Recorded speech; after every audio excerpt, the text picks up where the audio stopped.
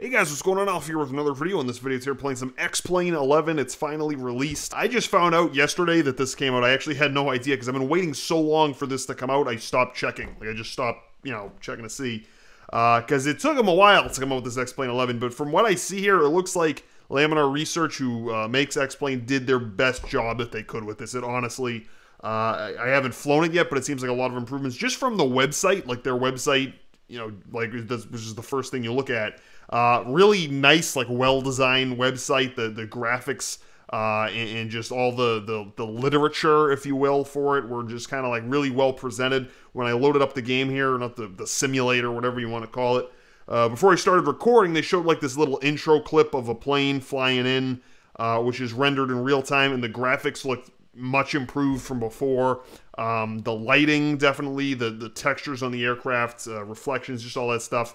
Uh, and, and, it looks like they really did it. I mean, if, if it took them a while because they were really doing a good job on it, then I think that's good. Because uh, X Plane could could have used some work. I mean, honestly, X Plane 10, um, 9, 8, they, they were kind of all the same. Not exactly the same, but the GUI, the menus, audio, the, the, the audio engine in X Plane's all, and, and, you know, with the exception of X Plane 11 because I haven't flown it yet, um, but it's always kind of sucked, honestly. Like, it's always been kind of flat. Uh, the graphics, the, just the optimization overall, it's it's really not well optimized. I think it part of it has to do with it uses OpenGL, and it's just it'll it's not designed to run well. It's just sort of designed to run realistically, if you will. So you kind of need a supercomputer uh, to run the thing, and it just looks like the graphics are better. Uh, it sounds better. Just everything kind of looks much improved uh, from before. So I'm kind of excited to get started here. This is the demo. Uh, I haven't bought it yet because I haven't flown it yet. So we're gonna make a like a first flight video here, get some some reactions. I'll see if I like it, and then you know I'll, I'll whip out the credit card and we'll go you know go in for the X Plane 11 uh, uh, you know you know retail here. First thing I want to do is I want to go to the settings and just kind of tweak the graphic settings here because I noticed with that first intro clip that they showed it was like a plane flying in. Uh, before I started recording, there were some frame sync issues there, which is you know you can fix that with VSync. Uh, but we got a GTX 1080 solid state drives. I mean, we got it all, you know, locked and loaded here, so there's no reason why we can't turn this stuff up. I'll just stick with maximum because I mean X-Plane. I just know from experience that the the highest setting is always ridiculous. So we're not we're gonna try to stay away from that. Uh, anti-aliasing, yeah, why not? Full screen, default settings, uh, yeah, that should be good. So I have a 4K monitor and I can play in 4K. I'm not going to try X-Plane in 4K because it's just in 1080p. It's already not, you know, does it's not well optimized. So we're just going to, you know, I don't want the computer to blow up here. So we'll just kind of stick with the 1080p. Uh, default view forward. Ah, uh, no, I like the uh, the like the third person view. Uh, forward with yeah, whatever. Leave that. We'll just tweak that later. Uh, I hope they didn't change the keys because I know to go to third person it's Shift 8, so hopefully they didn't change that around on me. Uh, oh, by the way, I've got my yoke and my pedals. Everything's plugged in here, so we're ready to go. Uh, field of view, I'll just leave that on default. Number of world objects, high. Reflection detail, let's turn that up. Draw parked aircraft, got to have that. Uh, parked aircraft, I'm interested to see it because parked aircraft versions of X-Plane, it was, it was just an abomination. It was really bad. I mean, I think the way it worked is if you turn up the settings high enough, the, it would render, um, you know, parked aircraft uh, at the airport. But a lot of times it was kind of dependent on the scenery package you had. Like if you had a scenery package where the creator put parked planes, then it would just use those, and they were always kind of like low resolution, older, um, you know, like older design planes. Like it just it didn't. It, it was kind of ugly. Uh, so hopefully that's kind of a it's it's drawn um, you know like you know from an actual model. It's not like some sort of mock-up. Uh, wrap around rotation, use rotation offsets. No, we don't. We're not going off the handle here. We don't have that going. Uh, lateral rotation. Now we're just gonna leave that alone. And the rest of that's okay. What do we got down here? Track use there it is. VSync. I knew it was missing. Uh, so there's that. press done to save those. Just see if there's anything else going on here. Oh, oh, so we do have to do this here. So let me get my uh, pedals ready to go here. Now, I don't know if it detects that automatically or not. Uh,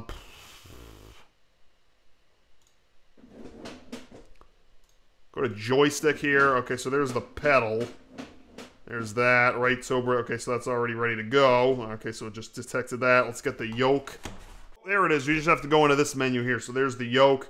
Uh, uncalibrated devices. Okay, let's go ahead and calibrate the yoke. We'll go ahead and pull it back push it down, left to right, that whole thing, and it's not going all the way, but that's all right. Uh, throttle, there's the, no, that's, I want this one. Okay, we gotta change that. There, I see, I use the throttle one for the gear, and I use, uh, this, that's gonna be changed. Okay, so next. Uh, go of your controls, allowing them back to the, okay, we did that. Uh, then hit the next button, leave your controls until the timer's up. All right, nice. Okay, so everything, now does this apply to the, to the, the gears too? Do we want to put those in the middle? I don't, I, uh, I don't know. Uh, we'll just, I think I'll just leave those in the down position here. And everything else is kind of centered. Let me ease off the pedals here in case it's checking that. And we'll hit next, and now it's gonna figure out where centered is. Nice. See, this is a, so much improved from before. The GUI of this menu here is it's much better. I mean, it doesn't look like Windows 95 anymore. But also this this centering, you know, exercise it just did here. It used to be that you had to like create a null zone manually to like tell X-Plane like where to ignore, like to center the thing. Now it does it on its own. Like I think that's much much needed there. So finish. That's good. Uh, this is, yep, that's that's it there. Okay, so we want to change. This one, I like having that be the speed brakes. So we'll put that on speed brakes. Uh, throttle, why?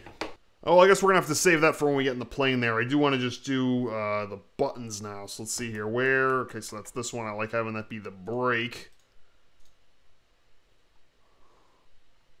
Let's go ahead and find that. We got a lot of, oh, good. Look at this. We can search stuff now. It's, this is so, oh man, this is so better than it used to be.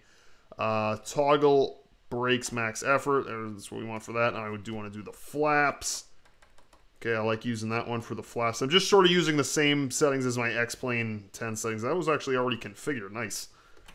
Okay, there's that. Um, and then contacting the tower. I like this one here. Actually, no. Yeah, okay, because that's below the hat. So this button here, which is number five for those of you following along at home uh, on the little picture here, I used to, you know, use that to contact the tower, but it's actually kind of makes more sense the way that's set up right now. Uh, what does this do? Do nothing? All right, we can use this then. Uh, so ATC, contact ATC, apply that one. And I think that's good for now. I think that's a good setup. And other than that, the defaults on the keyboard are pretty good. So we'll go ahead and hit done and new flight. All right.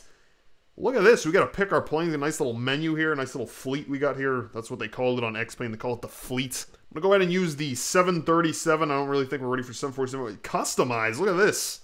Check out customize here. Uh, what can we do with that weight balance? Okay, no, I don't want to customize that.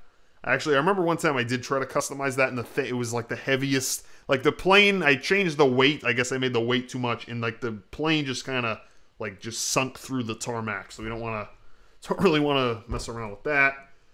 Uh, go back to this. Uh, engine types will go down to, uh, I'll do JFK. We'll go to JFK Airport. Speaking of JFK, the movie Jackie came out. I've heard good things about that. I haven't seen it yet, but I when it comes out on Blu-ray, I'm going to see that. Seems like a pretty cool movie. JFK International in New York at our 737. Uh, weather. Let's get some weather here. Not like rain, but just look at some clouds just to check out the graphics. Cirrus. We don't want anything where it's going to make the flight too bumpy here. I'll go, yeah, I'll go with the Cirrus High Altitude Clouds. Time of day, yeah, let's back that off, 9 a.m. That's good. Yeah, let's go ahead and start the flight. Now this used to take forever to load up. I remember X-Plane 10. It was just it was unbelievable. So we'll see. We got we got I've got all solid state drives in this computer here, so it shouldn't be a problem. Uh, you're leaving the demo area. Demo only include. Oh, okay. All right, fine. Huh. Interesting. Could have told me that before. So like I said before, this is the demo. If it's good, then I'll buy it, of course. But I just want to you know, test it out first. So here we go, loading it up. Here, oh, here, oh, we're already loaded up. Look at this. All right.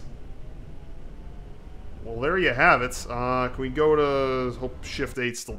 Yep, there we go. That works. Oh, no. All right, so we have no scenery for this airport. So the one airport that they give you has no scenery. That's awesome. The one airport they give you is just... It's just this, so that's not a whole lot to go on. Guess we'll go ahead and take off here. Uh, so let's go ahead, go to the cockpit. I, I think Shift 9 is the 3D cockpit. Yeah, I remember that one. That's good. That would have been embarrassing if I forgot. So, gorgeous cockpit. First impression, great cockpit. Unbelievable uh, graphics here. The resolution is great. The problem with this is obviously going to be aftermarket aircraft and scenery. That was really the pitfall of previous versions of X-Plane, in my opinion. Like, the the content that Laminar Research made, you know, just the vanilla airports and and you know planes that kind of came with the game, always were great. Great quality, great. Um, you know, great, you know, attributes. And when I say attributes, I mean obviously just, you know, real to life, you know, thrust and, and behavior and all that, but also just graphics, you know, great cockpits and everything like that. In terms of airport scenery, uh, the stock airport scenery was always the best, kind of typically with any game or any simulator. The stuff from the, the you know the company that made the game is going to look the best, but the, the aftermarket stuff, and there was some some really good stuff, like you know, which is why I like to go to JFK because I you know I'm kind of used to that in X-Plane 10 because that was a it's a payware um, airport that I had, and it was I think it's in my opinion was one of the best payware sceneries uh, out there, uh, just in terms of airport sceneries, which is why I kind of always like to go there just because it, it looks nice. Um, but uh, other than that, like any free airport, just kind of it kind of looked like some Google SketchUp building. You know, we're not really that good. Planes as well. The planes had kind of problems. So I'm curious to see if the aftermarket, you know, uh, aircraft and scenery, the payware stuff, freeware stuff is going to be improved uh, from before. Anyways, we're going to go ahead and take off here and just kind of see how the flying goes. I mean, normally I'd contact the tower, but there just friggin' isn't one. We're just like out to sea here, so we're just going to go ahead and have to do this the old-fashioned way. Uh, where is our brake lights? Where? I'm just going to keep pressing this here to get the light up. There it is. Uh, so zoom in. Parking brake full. Okay, so that's when it's on and retracted, so we're to have that off. Go ahead and put the flaps down a notch here. Hopefully it, it, it kind of took to that setting. Here we go. I hear him going down. Seems like the audio is is moderately improved. Moderately improved. That's what I'd say. I mean, it's obviously it's not going to be like the soundtrack from Sully, but it's it's you know it seems like it's a little bit better. Uh, I got that going here. Normally, I like to, you know, if I'm taxiing from the airport, I just like to come out uh, on the taxiway here and just, you know, gun it, open up the throttle and take off. But we're kind of already lined up here and ready to go, so we're just going to go ahead and open up the throttle, pull back the flaps, you know, fasten the seatbelts, hand out the peanuts, all that stuff here. Uh, so this gear, not working here, not working. And what is this? Up. Okay, armed, so I just want to see Okay, so up, that makes the speed brakes go up, so we're gonna wanna keep that down. Just, just some minor calibration stuff we're doing. I am noticing right now, you might turn up the sound. I'll be quiet here once they quit yapping. You can actually hear the sound of another plane in the sky, which is a new uh, piece of audio.